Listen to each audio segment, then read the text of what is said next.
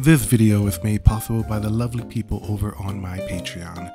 If you're interested in supporting the channel or you want to get your hands on some awesome high quality STLs, then please visit patreon.com forward slash will at heroic studios.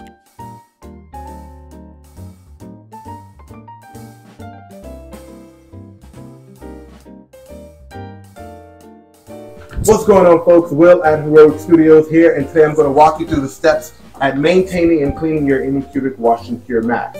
This is a very delicate piece of equipment and unlike previous wash and cure stations, this one takes a little bit more TLC to maintain and keep clean and keep working up to par. So I'm going to take you through each and every step on how to keep this thing clean, how to keep it working right, and how to maintain everything so that every time you use it, your prints come out just as immaculate as the first time you use this boy. All right, gonna take you right through it. Let's get into it.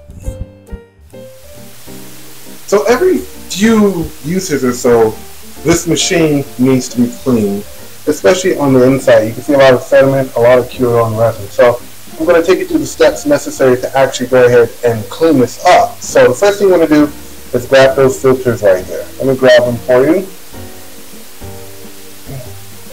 As you can see, they're full of debris and resin from prints that might have fallen off. So these are very important because they actually allow the water to kind of ventilate out, flow out. So you want to make sure that you do keep these things clean fill up a little tray of IPA and use a little toothbrush here to scrub them out.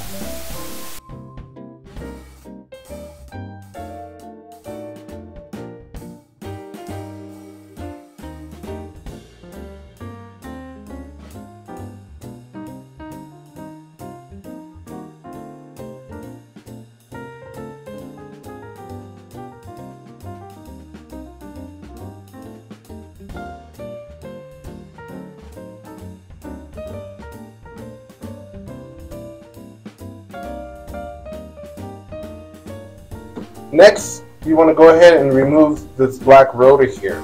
Reason being is that a lot of resin, when it cures, it kind of settles on this thing, and you don't want it to get jammed up to where your basket doesn't rotate anymore. So remove this part here and pull out the rotor.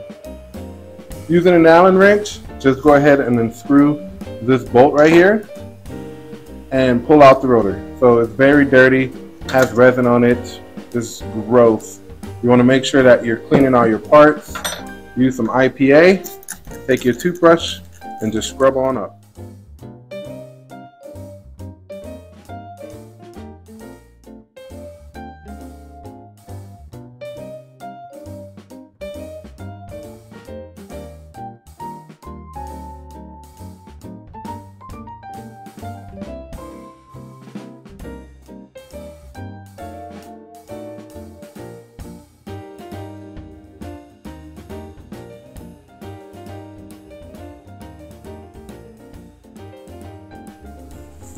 Before you reinstall your rotor, make sure that you do clean all the resin that was underneath here prior to that. So take your toothbrush, get in there and scrub, and then just simply wipe it out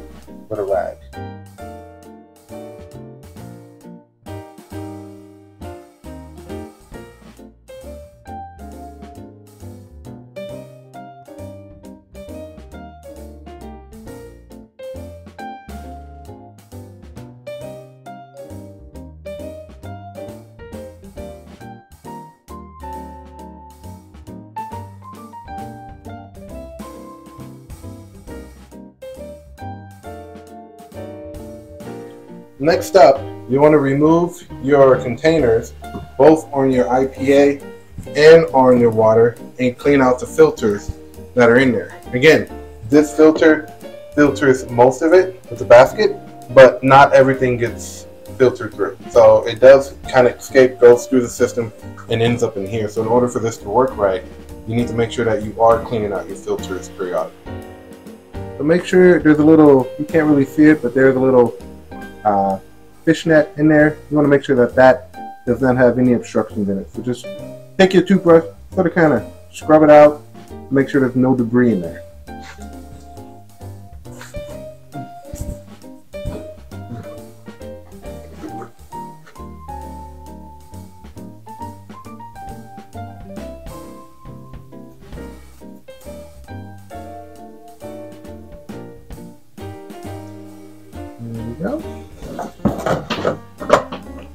And do the same thing for your water bucket. So if you look inside your water bucket, you're going to see a lot of debris that's going on in here. That's because a lot of the resin, uh, the water gets pushed into the system, into the drum, and then it gets pumped that back in here. And a lot of that resin uh, gets stuck in here. So you can't really get in there and clean. I mean, you could if you bought like a toilet wand. But what I normally do is I pour a little bit of IPA in there, shake it up, let it disintegrate the resin, and then go ahead and pour that IPA out. It does a really good job of cleaning out all the resin that's stuck on the walls, that's stuck on those two uh, prongs right there, as well as everything else. So just a little bit of IPA, you don't need to fill it up, just a little bit. Shake it up, let it sit, shake it up some more, and then pour out the IPA. So I got my toothbrush in there and did as much of the sides as I possibly could. You can see the dirty IPA just kind of chilling out in the corner. Swish it around some more. Make sure you try to get everything. Use your little toothbrush, like I said, to get in there and kind of get little nooks and crannies. I know it's not big enough to get in there all the way, but if you want, yes, you can fill it up, let the IPA do its job, and then dump it. That's up to you, though. That's a lot of IPA. Now that this is all clean, what you want to do is now fill it up with water because the next step is cleaning out the drum. Fill your container up with water, throw it in the drum, Use a little scrub brush to scrub all the sides to get all the residue resin off. And then uh, you're going to purge the system, and that's going to clean out your pipes, and it's going to keep your, your drum pretty clean. But make sure that your waste bucket is empty. So you would need to dispose of whatever is in here first. Use clean water, not what's in here, and um, go ahead and clean out your drum. I'm going to show you how to do that right now. So a lot of people always ask me, well, what do you do with your wastewater? Like, you just can't pour it down the drain. No, you can't. I know in the instruction it says put it on the sun, let it cure, and then dispose of the water. But what I do is I keep my old resin bottles here, and I just fill this up into these bottles. And next thing, every town has this, every city has it. You want to take all of your waste bottles over to the waste management, and they'll accept it. So this is all IPA waste, water waste, everything is full in these bottles here. And I just haul them into my car, take them down to the waste management, which is down the street from my house, and they take them. So that's how you would dispose of them. Two birds, one stone. You keep your wash and cure with fresh water. You get rid of your old resin bottles because you're not supposed to throw those away because there's still uncured resin in it. And at the same time, you're able to get the trash out of your workspace area. So save your resin bottles, throw your dirty water, into there, put them in a box, throw them over into the waste management. Really easy, really simple. There you go.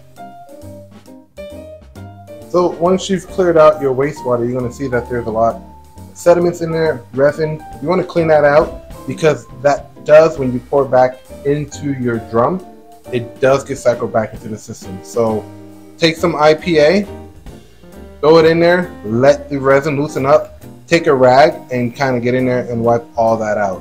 If some is kind of cured to the bottom, uh, use a little plastic scrub tool, little plastic removal tool. We all have them. You know, they come with pretty much every printer. I don't have one next to me right now, but you know what I'm talking about. And just kind of slowly start scraping off all the sediments that might be uh, stuck to the surface there. But make sure you do good do a good job of cleaning this all out. You don't want sediments coming back and being reintroduced to your system. So now that's cleaner. We're going to fill this up with water and throw it in the drum. This guy right here. And we're going to go ahead and let it do a purge of the cycle. We need to clean all the residue that's on the walls and on the bottom of the drum to make sure this thing is good. Make sure you did, you do put back in your strainer because you are going to need that in case um, you don't want any of the loose sediments getting in there. We are going to have to clean out this uh, strainer. All right, so we have water in here. We need to go ahead and scrub it out. But before you do that, the tube that is normally in this bucket might feel a little gross and sticky. So you might want to take some IPA, spray it, and wipe it down. You don't want to get any type of nastiness in here. As I was saying, there's a lot of goopiness on this tube, and you want to make sure you clean that off. So spray it with some IPA. All right, now that we got our water in there, make sure uh, you're using either a toothbrush or plastic scraper tool and just lightly go around your machine trying to get off all the dirt and grime that might have cured on there. Make sure your strainers are in there. Make sure nothing is being forgotten about, I guess. Make sure you get the bottom, just rub that water, rub it, get all the debris, get everything out.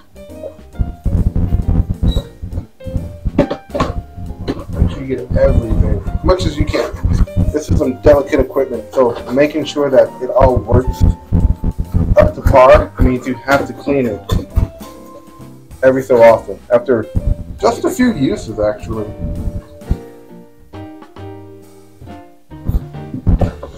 Uh, if you have a bigger brush, go for it, but not a stiff brush, alright? That's good enough for me. Everything looks okay. Alright, so we close our lid, hit the reset button, hold it for three seconds, and it's gonna flush out all of that wastewater into this bucket. And depending on how dirty it was, my water was kind of clean, you can go ahead and reuse that water, placing it back into your drum.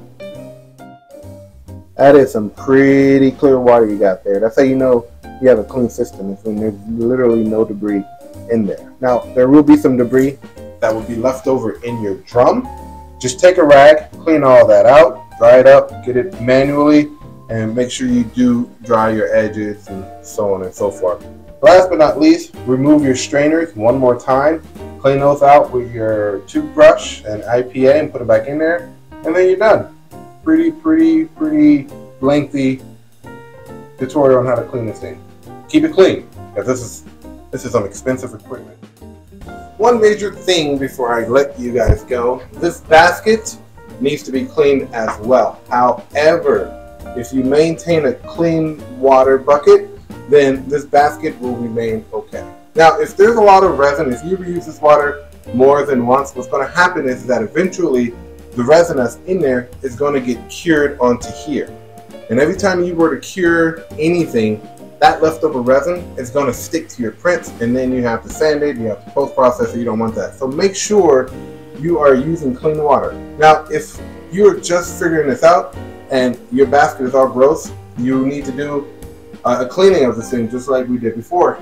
Take your toothbrush, spray it with some IPA, and scrub every single inch of this thing. The last thing you need is leftover resin on here, damaging your prints and being cured to this thing after you spent however many hours printing a statue or, or a prop or anything like that. So make sure that this basket is clean. I didn't mind cleaning it because mine's been clean and it's always going to stay clean. But if you are reusing this water more than once, resin will build up on there and it's going to start to stick on here. And then your IPA is going to start to show.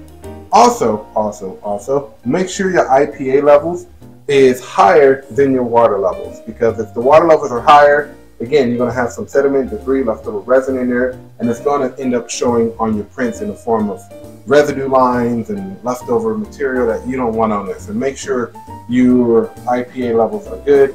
Make sure you're changing out this water maybe after three or four uses. Okay? Okay. Now, that's it.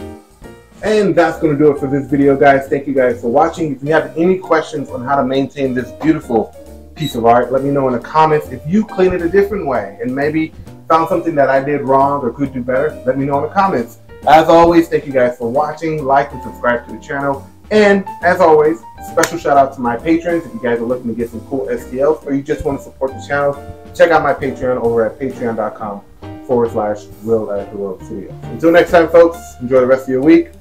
I'll see you next time.